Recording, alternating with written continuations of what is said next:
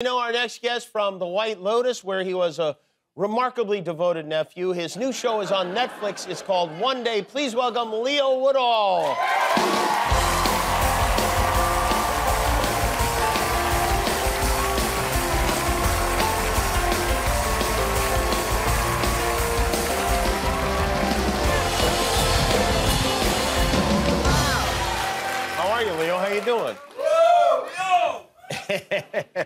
Is cool. Yeah. Oh, good. good. cool I'm glad you're here. Uh, boy, I enjoyed you on the White Lotus. You really, you um, were a villain, but also uh, uh, I hated you, and I also liked you, and I felt sorry for you on the show. Oh, thanks. Not you, of course, but Appreciate- you know the character that you were yeah, playing. yeah. Was that your first big job? Oh yeah. Oh yeah. White Lotus definitely kind of, you know, changed a lot of things. Yeah, I would imagine so. Yeah. You uh, did you know when you auditioned for that role that you would that, how it was gonna go? Like with that scene with the the uncle, uh, you did not know. They didn't, they didn't say like, by the way, you'll be sodomizing an older man.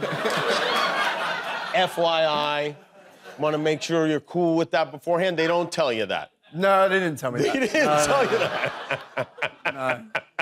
It was quite a surprise. You're from a family of actors, right? Yeah. Who in your family is an actor?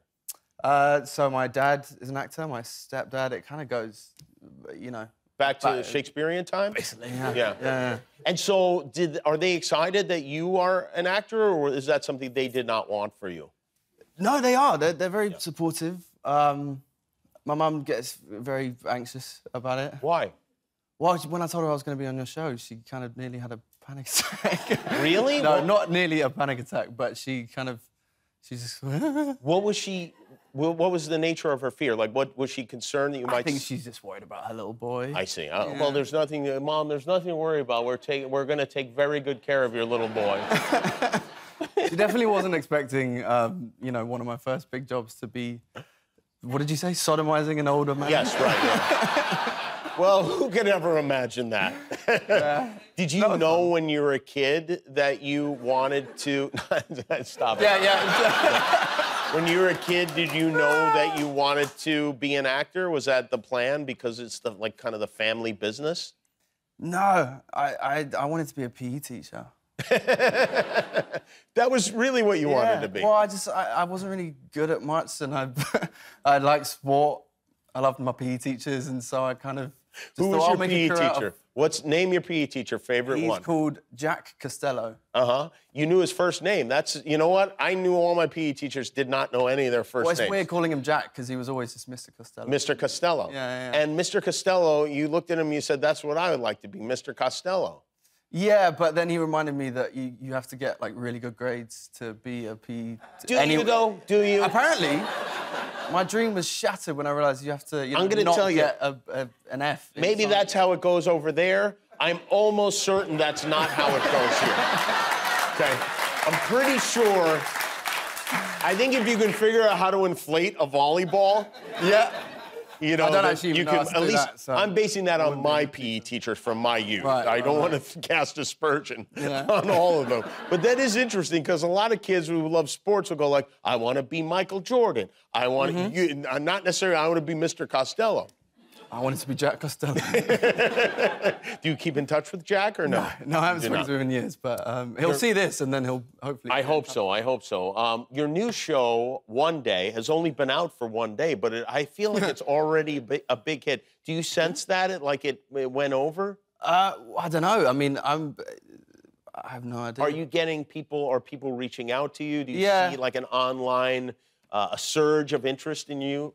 Well, I don't know. I'm, I'm getting a lot of texts um, from people, but I'm shocking at, at responding to texts or even properly looking at my phone. I actually nearly missed the White Lotus audition because I didn't check my email. Is that true? yeah. You did? yeah, it was in my inbox for about two weeks, and it was. Oh my I just didn't know, and so you know, last minute, I uh, Oh wow. I got the red alert. Yeah. In a way, that can be big though, because that can be like, hey, this guy, wow, he doesn't, he hasn't even gotten back to us. He must have a lot going Yeah, on. I think that's probably what got me the gig. is- is thought, this guy's cool. he doesn't care. What is One Day about? What's the idea behind the show? It's about two people who meet at their graduation. You're one of the people. I'm one of the people. Who's the other people? She's called Ambika Mod. Okay. Um, and they meet at the end of at the graduation night. They click, and you basically follow their story for 20 years, but only on the 15th of July. So are you aging 20 years Yeah. over the course? Oh, and do you wear like the, the prosthetics or something like that? Yeah, they gave me like uh, what do they call them?